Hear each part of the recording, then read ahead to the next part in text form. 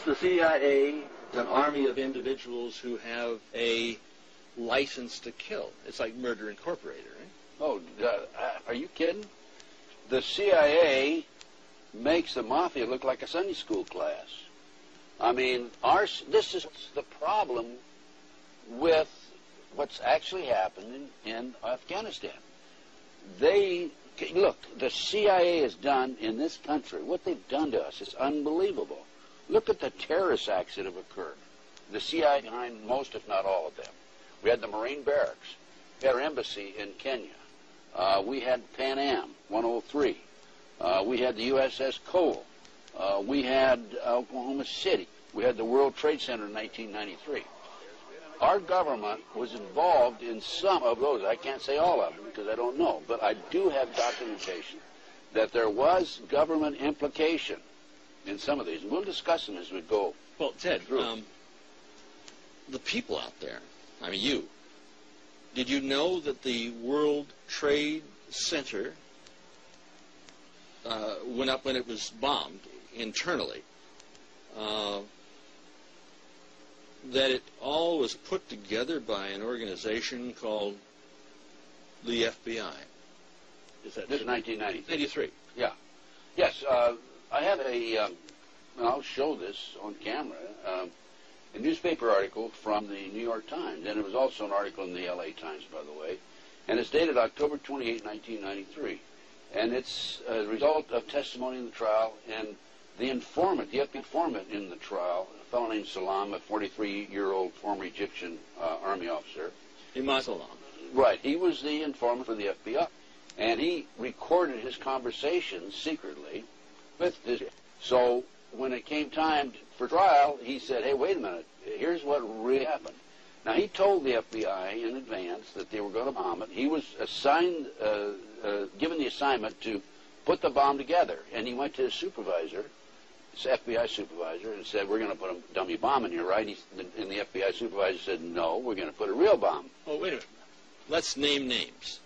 John Anticev was and, supervisor. Yeah, he was the supervisor for the FBI, and he winds up in the some with having something to do with with the, with the Kenya uh, investigation. So here's a guy who's involved in setting up the World Trade Center for bomb, you know, to be uh, blown up, and it resulted in the deaths of six, six individuals, over a thousand injured. Uh, half nearly million dollars. Hundred million dollars. Uh, half million, uh, five hundred million dollars. Uh, no, uh, a lot of millions of dollars. Millions of dollars, yeah. And in debt property damage. Right now, if justice were done, the FBI agent would be not only in jail but executed for murder in the first degree. And is the chief suspect in the attack upon the World Trade Center on September 11th is not the chief suspect the individuals or individual agency that bombed the World Trade Center in 1993? Based on what happened in 1993, the FBI not only knew in advance they were going to bomb the World Trade Center, they furnished the ingredients for the bomb.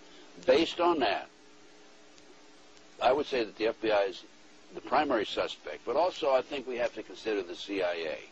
And the reason you have to consider the CIA is because when you skyjack four airplanes simultaneously with 19 skyjackers, that is no small operation. That took years to plan, number one, and hundreds of people had to know about it in advance. Now, our government, NSA, was monitoring bin Laden's phone calls in February 1998.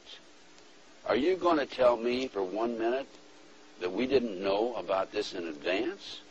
The CIA had to know about it. The FBI had to know about it. The Mossad had to know about it.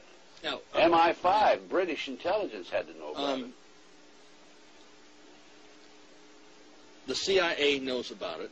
The FBI knows about it. The commander in chief, the president, would have to know about it. Of course he does. And that would mean that, that Bush had prior knowledge, and that would implicate him in reality, if, if, if we wanted to face this thing as it really is, in murder in the first degree. Let me explain. Let me explain to the audience what's happened here. Okay, back in the 80s, 1980s, uh, the Department of Justice proposed legislation to fight terrorism. And uh, this legislation took away many of our constitutional rights and civil liberties. One of the authors, a female attorney with the Department of Justice, publicly stated, made this statement. I've got her name on my file someplace. That before this passes, people will have to be killed. Well, so that was the reason I feel for the 1993 World Trade Center bombing. Unfortunately for them, fortunately for us, the good guys, there were only six people killed, not enough to pass the legislation. So what happened is uh, three years later, no, 93, two years later, April 19, 1995, down comes Oklahoma City uh, Murrah building, 168 people killed. One year later, the anti-terrorism legislation that takes away many of our constitutional rights and civil liberties is passed. And now with the uh, Twin Towers World Trade Center episode, our Congress is now proposing further restrictions on our constitutional rights and civil liberties. These explosions, these terrorist acts, were an excuse to pass anti-terrorism legislation. And then to implement it. And then to impl- yes. And this is what's happening in the world today.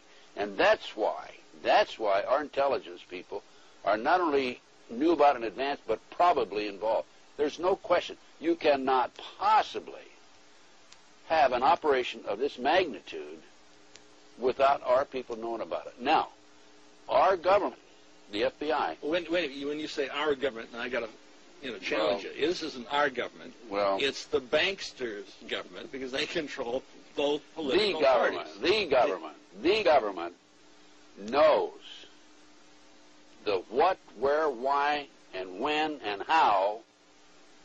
And they, bra- I had a FBI supervisor brag about this to somebody else, and it got back to me, of every patriot and every militia in the United States.